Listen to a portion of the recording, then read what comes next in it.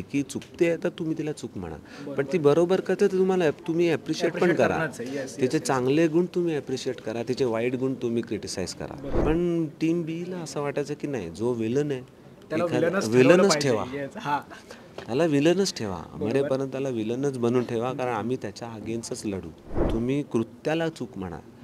तुम्ही कॅरेक्टरला असॅसिनेट करण्याचा प्रयत्न करू नका. तुम्ही कॅरेक्टर पाडण्याचं माणसाला मुद्दाम खाली दाखवण्याचा प्रयत्न करू नका. जिंकल्यानंतर काय करशील? तर मी म्हटलं जिंकल्यानंतर ट्रॉफीला एका शोकेसमध्ये ठेवीन दुसऱ्या दिवशी फोन लावायला चालू करणार. बाबा काय चल काय चलो? नमस्कार मी नितीन मोरे लेट्सअप मराठीमध्ये तुमचं सगळ्यांचं स्वागत करतो. एक मराठमोळा मुलगा खूप वर्षाआधी प्रेक्षकांच्या मनामध्ये घर करून बसलेला तोच मराठमोळा मुलगा पुन्हा एकदा प्रेक्षकांच्या मनामध्ये घर करायला सज्ज झाला आहे आणि त्याने घर केलंसुद्धा आहे. अर्थातच माझ्यासोबत आहेत अभिजित सावंत. अभिजित आता माझ्यासोबत आहे. बिग बॉसचा सेकंड विनिंग लीड असं बोलायला मला काही हरकत नाही त्याला.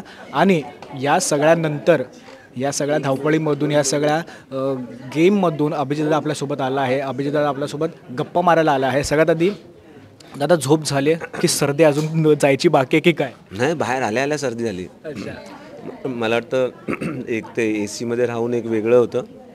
जसं बाहेर आलो तसं वातावरणच बदललं एकदम. त्यामुळे थोडंसं आहे पण आय एम गेटिंग बॅक बरं तर जेव्हा कार्यक्रम सुरू झाला ना त्याच्या आय थिंक सो दुसऱ्या तिसऱ्या आठवड्यामध्येच हाताला बोटाला दुखापत झाली. आणि ती एवढी पायाला. पण झाली बोटाला पण झाली एवढी मेजर आहे ना कारण का दिसून येते की ह्याच्या आधीचे जे कंटेस्टंट होते त्यांनी ते सुद्धा पडले झडले त्यांना सुद्धा खूप दुखापत झाली पण ही मेजर दिसते. रिकवर व्हायचं आहे की बिग बॉसची ही आठवण आहे शेवटपर्यंत राहणार हो आहेत एक दोन स्क्रू टाकले आहेत बोटात हा मग. म्हणजे बिग बॉसची ती देणंच आहे असं हा हा हा हा आता ते आता आता हे आता इथून आहे हे दिसतं ते. ते रॉड आहेत दोन्ही. हा तर ते तेच घेऊन सगळं केलंय. अभिलाषा ते त्याच दिवशी केलं ज्या दिवशी झालेलं आहे. तर आहे या गोष्टी आहेत. पण शो मध्ये जेवढं चांगलं करता येईल तेवढं करायचं होतं. जेवढं स्वतःला व्यवस्थित दाखवता येईल स्वतःला दाखवता येईल लोकांसमोर प्रेझेंट करता येईल. मग भले आपण इंजरीमुळे जाऊ किंवा कशामुळे जाऊ पण जोपर्यंत राहू तोपर्यंत चांगलं करू हीच एक भावना होती. बरं तर मला ना जेव्हापासून आपल्या बिग बॉसचा सीझन सुरू झाला त्यापासून आम्ही तुझी जर्नी बघत आलो नंतर खूप वेळा अप्स अँड डाऊनसुद्धा मला बघायला मिळाले. अभिजित सावंत ह्या व्यक्तीचे अप्स आप तो कधी कधी खालच्या लेवलला पण गेला गेला कधी कधी वरच्या लेवल पण गेला. त्यातल्या त्यात त्याच्यावर त्याच्याच ग्रुपमधल्या लोकांनी सुद्धा खूप क्रिटिसाइज त्याला केलं की अरे हा तू त्याच व्यक्तीसोबत बोलतोस तू ह्याच व्यक्तीसोबत बोलतोस तू फक्त बायसच आहेस वगैरे. हे सगळं होत असताना अभिजित सावंतला तिकडे मेंटली शांत राहणं आणि फिजिकली शांत राहणं किती महत्त्वाचं होतं आणि काय त्याचा रोल प्ले होता त्या दरम्यान? माझा एकच सिद्धांत आहे एक तत्व आहे माझ्या आयुष्यातलं की आपण कधी कोणत्याही माणसाला कम्प्लिटली चूक ठरू शकत नाही. असं आहे. त्याला फक्त त्याच्या कृती चुका असू शकतात. आपण म्हणतो ना की आपण रावणाच्या पण चांगल्या चांगल्या गोष्टी होत्या. त्यामुळे आपण प्र एकदमच एकाला ब्लॅक किंवा व्हाईट नाही करू शकत. आपण म्हणतो की सत्य ॲक्च्युली ग्रेमध्ये असतं कुठेतरी. है ना? त्यामुळे तो माझा एक पहिल्यापासूनचा सिद्धांत आहे. आणि मी त्याच्यावरतीच चालत आलो नेहमी. आणि शोमध्ये पण त्याच्यावरतीच होतो. कारण जर निकी चुकते तर तुम्ही तिला चूक म्हणा. पण ती बरोबर करते तर तुम्हाला तुम्ही ॲप्रिशिएट पण करा. तिचे चांगले गुण तुम्ही ॲप्रिशिएट करा. तिचे वाईट गुण तुम्ही क्रिटिसाइज करा. हा माझा एक सिद्धांत असायचा. आणि ती जेव्हा चांगल्या गोष्टी बोलायच्या ना त्यावेळेला असं वाटायचं की अरे यार हे खूप स्मार्ट आहे यार. आणि हे काहीतरीच आहे. वेगळं आहे. जे आपल्याला आप- आपल्या काय म्हणतो ते आपल्या एक आयुष्यामध्ये डोक्यामध्ये ना आपल्याकडे एक बॉक्स असतो. त्याच्यामध्ये आपण आत्तापर्यंत जगलेल्या गोष्टींपासून बनलेले विचार विचार जमा असतात. त्यामुळे एखादा माणूस येतो आणि काहीतरी वेगळं बोलतो ना त्यावेळेला तर ही तर गोष्ट माझ्या बॉक्समध्ये नाही आहे हे ना? तो गुड मला पण मिळेल तिच्याकडून काहीतरी शिकायला. त्यामुळे त्या गोष्टी मिळायच्या. पण टीम बीला असं वाटायचं की नाही जो विलन आहे विलनच ठेवा. त्याला विलनच ठेवा. मरेपर्यंत त्याला विलनच बनवून ठेवा कारण आम्ही त्याच्या अगेन्स्टच लढू. बरोबर. असं नसतं. आयुष्यामध्ये जो चुकीचा असतो त्याला चुकीचं म्हणा पण होऊ शकतं की तुमच्यामध्ये पण त्या वाईट गुण ते वाढतील. त्याच्यापासून तर तुम्हाला वाचावं लागेल ना. बरं जसजसे ना दिवस पुढे जात होतो ना तसे एक ग्रुप असू दे बी ग्रुप असू दे यांचं ना दोघांचं समीकरण पूर्णपणे बदलत जात होतं. स स शेवटी शेवटी येऊन ना आम्हाला असं वाटत होतं की अंकित आणि डी पी पूर्णपणे अभिजित दादाच्या अगेन्स्ट झाले जे त्याच्यासोबत आधी सुरुवातीपासून होते आणि त्याचा तुझ्याकडे बघायचा दृष्टिकोन पूर्णपणे वेगळा होता. तुझं असं होतं की अरे मी करतो मी माझं मत मांडतोय तुम्हाला त्याचं मत माझं माझ्या गोष्टी ॲक्सेप्ट करायचं करा पण नाही. बिग बॉसचं खरं तेवढंच ड्रॅमॅटिक आहे का की शेवटी शेवटी येऊन ती जी नाती जुळलेली असतात ती नाती कुठेतरी तडा जाते त्या नात्यांना? हे ह्याच्यामुळेच मी कधी कधी निकीशी बोलायचो. कारण निकी पहिल्या आठवड्यातच म्हटलं पहिल्या एविक्शनच्या नंतरच म्हटलेलं म्हटलं त्यांनी की इथे लोक बघ आता पुढच्या आठवड्यापासून बदलायला लागते. बरोबर. पुढच्या आठवड्यापासून बदलतील. बघ इथले इकडचा तिकडे जाईल तिकडचा इकडे येईल तुला कळणार पण नाही कधी ग्रुप चेंजेस होतात. आणि ते मी म्हटलं नाही नाही एवढ्या लवकर थोडी यार मैत्री आहे मित्र आहोत अरे असं थोडी होतं. हा, पण जसं ते दिसायला लागलं ना देन आय स्टार्टेड रिअलायझिंग की नाही नाही माणूस ॲक्च्युअलमध्ये इथे बदलतो. बरोबर. आणि त्याचे विचार बदलतात त्या एखाद्याला त्याचे विचार कोणाला कोणाला पटत असतात कोण नाही पटतात. आणि तो हळूहळू आपसूक एका साईडने दुसऱ्या साईडला जायला लागतो. त्यामुळे विचार बदलायचे लोक बदलायची हे नेहमी व्हायचं. इतकं मे बी प्रॉमिनंट लोकांनी बघितलं असेल नाही बघितलं असेल पण दुसऱ्या तिसऱ्या आठवड्यापासून लोक दुभंगायला लागलेली जान्हवी बाहेर पडलेली वैभव फक्त काय कधी कधी माणसाला भीती वाटते की मी जर ह्या ह्या सर्कलमधून बाहेर पडलो तर माझं काय होईल? असे दोन तीन लोक होते. तेच तिथे इवन मी पण होता. भीती वाटलेली त्या दरम्यान? मला भीती नव्हती. पण मला असं वाटलेलं की मी क- मित्रांचं मन तर नाही तोडणार.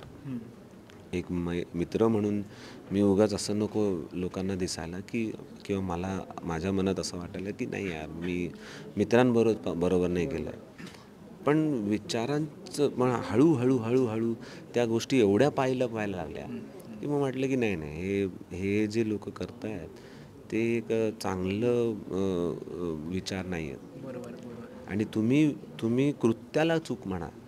तुम्ही कॅरेक्टरला असॅसिनेट करण्याचा प्रयत्न करू नका. तुम्ही कॅरेक्टर पाडण्याचं माणसाला मुद्दाम खाली दाखवण्याचा प्रयत्न करू नका. तुम्ही त्या त्याच्या चुका दाखवा. हा माझा पहिल्यापासूनचा मुद्दा होता. बरं तर जसजसे दिवस पुढे जात होते ना तसतसे ना पॅडे दादा असतील अंकिता असेल डी पी दादा असतील इवन निकीसुद्धा असेल त्यांचे ना तुला घेऊन काहीतरी असे क्रिटिसिझम होते की अरे जसं पॅडे दादांनी तुला सांगितलेलं की अभिजित तू माझी कधी बाजू घेतलीच नव्हतीस. त्याच्यानंतर अंकिता पण झालेलं आहे, तू जर त्या व्यक्तीसोबत आहेस तर तिथेच राहा तू आमच्यासोबत तरी कशाला येतोय? ह्या जेव्हा गोष्टी आपल्याला कळतात तेव्हा अभिजित सावंतला कुठेतरी वाटलं का की मी खरंच असं वागतोय का? की ते खरंच होतंय का? माझ्याकडून असं घडतंय का? जाणवलं असं कधी घरामध्ये? मला खूप वेळा मी विचार करायचो या बाब बाबतीत की की मी जे करतोय आणि ह्यांना जे दिसत आहे मी काय असं केवढ्या एवढ्या मोठ्या चुका करतोय का? की की की हां, खरंच असं वागतोय का. पण मला असं वाटायला लागलं की मी ज्या विचार कर रिअलायझेशन झालं की काही दिवसांपूर्वी अरबाज असंच वागत होता निक्कीकडून. की फक्त तू माझ्याशी बोल माझ्याचकडे राहा. पझेसिव्हच्या नावावरती ही was actually trying to the to have the control on her you know आणि एक साईडला बी ग्रुपमध्ये पण तेच होतं की यु नो की बाबा माझे ग्रुप मेंबर्स आहेत माझे लोक आहेत हे लोक कंट्रोल करण्याचा प्रयत्न आमच्याकडेच. राहा तू. इथेच राहा. तू ह्यांच्याशीच बोल तू आमच्याशीच बोल तू तिकडे जाऊ नको. यु नो ते कंट्रोलिंग पॉवर जी असते ना हा हा त्यांना हवा होता. आणि म्हणून मी म्हणून मी इकडे पण मी बोलायचो कारण माल मला तुम्ही कंट्रोल नाही करू शकत. माझ्या विचारांना तुम्ही कंट्रोल नाही करू शकत. मला जर एका माणसाकडून चांगल्या गोष्टी शिकायला मिळतात तर मी नक्की बोलेन. पण तुम्ही पूर्ण थ्रू आउट द शो बघितलं असेल जिथे मी कधी अशा पद्धतीने तु- एकमेकांना पाडण्याचा प्रयत्न कॅरेक्टर असॅसिनेशनचा प्रयत्न नाही त्यामुळे त्यामुळे पण ते कंट्रोल पॉवर कोणाच्या हातातून दोघांच्या हातातून जाऊ नये म्हणून हा गेम पूर्ण चालायचा त्यांच्याकडे बरं तर बिग बॉसच्या घरामध्ये ना अभिजय दादाची एक स्पेशल जागा होती. ती म्हणजे ती स्कूटी त्या स्कूटीवर बसून गाणी असतील जे असेल ते पूर्ण गुणगुणायचा. बिग बॉसचं घर तर मिस करशीलच करशील. पण बिग बॉसच्या घरातला असा कोणता जो कोपरा होता तो फक्त अभिजितचा होता. म्हणजे तो तिकडे जाऊन जे अंधेखामध्ये आम्हाला तर कधी बघायला मिळायचं नाही काही काही गोष्टी आम्हाला बघायला मिळायच्या नाही तर असं कोणती जागा होती की भाई ती माझी जागा आहे. त्या जागेला कोणी हात लावू नका आणि ती अजूनपर्यंत तर अभिजित सावंतच्या सोबत असणार आहे. माझ्याबरोबर डिफिकल्ट आहे एक जागा सांगणं खरं म्हटलं तर. पण सगळ्यात माझा आवडता कोना जो झालेला तो तो गार्डनमधला ज्या साईडला टीम ए बसायची हो. जेवायला. शेवटी शेवटी तो जो सोफा होता त्या सोफ्यावर बसून मी एक कॅमेरा होता त्याच्याशी बोलायचो.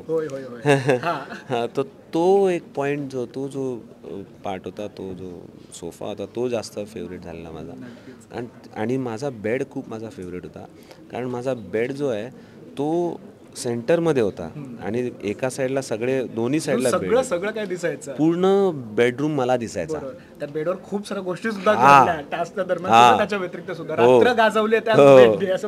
हो त्यामुळे असं म्हणजे त्या बेडवरून असं वाटायचं की पूर्ण बेडरूम मी बघू शकतो. प्रत्येकाबद्दलचे विचार. तिथे बसल्या बसल्या माझे आम- माझे चालायचे. त्यामुळे तो एक खूप इम्पॉर्टंट पार्ट होता. नाही खरंच खूप भारी वाटत. तुर्तास मी ते थांबतो. कारण का खूप साऱ्यांना तुझ्यासोबत गप्पा मारायच्याच आहेत. बिग बॉसची ट्रॉफी नाही मिळाली काही हरकत नाही. पण प्रेक्षकांच्या घरा मनामध्ये घर केलेलंच आहेस. यानंतर आम्हाला अभिजित दादाची नवीन जर्नी बघायला आवडेल. प्लॅन्स आहेत की सध्या फक्त आराम आहे नंतरचं नंतर करू काय? नाही मी मी इवन कोणीतरी मला शोमध्ये पण विचारलेलं की जिंकल्यानंतर काय करशील? तर मी म्हटलं जिंकल्यानंतर ट्रॉफीला एका शोकेसमध्ये ठेवीन. दुसऱ्या दिवशी फोन लावायला चालू करणार. बाबा काय चल काय चलो? काम लाव. आता, हा, बाहेर कारण कारण मला माहिती आहे मी एक्सपिरियन्स केलेलं आहे की ट्रॉफीच्या प्रेमामध्ये आपण जास्त दिवस नाही राहू शकत. You know we have to work आपण इथे काम करायला आलो आणि मला आता प्रेक्षकांनी जेवढं प्रेम दिलं आहे एवढा प्र चांगला प्रतिसाद दिला आहे आता मला त्यांच्या अपेक्षेमध्ये अजून चांगलं उतरायचं आहे. आणि त्याचेच प्रयत्न राहतील. नाही खरंच आम्हाला सुद्धा यानंतर अभिजित गायक म्हणून तर बघायला आवडेलच पण त्याच्या व्यतिरिक्त सुद्धा खूप साऱ्या रोलमध्ये बघायला आवडेल आम्हाला जे आम्ही बिग बॉसच्या घरामध्ये बघितलं आहे पुन्हा एकदा खरंच खूप धन्यवाद आमच्यासोबत गप्पा मारल्याबद्दल. आणि या नवीन सुरू होणाऱ्या जर्नीसाठी all the very best thank you thank you so much धन्यवाद.